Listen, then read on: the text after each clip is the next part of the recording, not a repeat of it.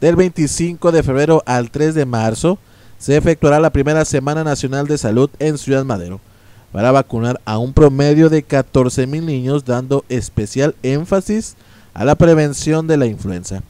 En rueda de prensa, el director del Centro de Salud de Ciudad Madero, doctor Rafael Gabriel Cruz, precisamente darle difusión a la primera Semana Nacional de Salud, que se va a llevar a cabo el día 25 de febrero, este sábado. Este sábado tenemos un evento eh, bien importante donde vamos a movilizar eh, una cantidad eh, importante de personas.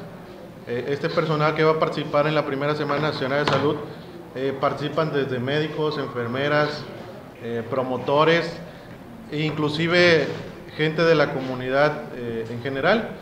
La comunidad también nos ayuda bastante a darle difusión a estos eventos, los comités de salud, la población de Prospera, para que la difusión se lleve a cabo y todo niño tamaulipeco menor de 5 años reciba la vacuna de la Sabin, que es la que previene la poliomielitis.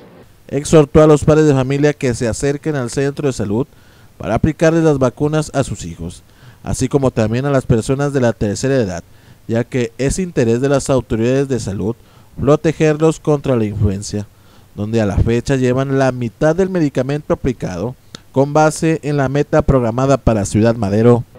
Por eso es importante que le demos la difusión necesaria para que todas las madres de familia, todos los papás o todo el público en general acuda a esta mega jornada que vamos a hacer el sábado 25 de, febrero. Nosotros vamos a estar colocando nuestros puestos de vacunación a partir de las 8 de la mañana y como dicen por ahí hasta que el cuerpo aguante, ¿verdad? para que todos los niños queden cubiertos. Eh, bueno, vamos a, entre los puntos a, reforzar en la campaña de vacunación es el reforzamiento de esquemas de vacunación.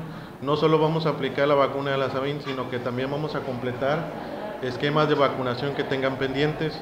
En las imágenes, Ramón Guadalupe Mar, Oscar Mascorro, Noticieros Canal 26.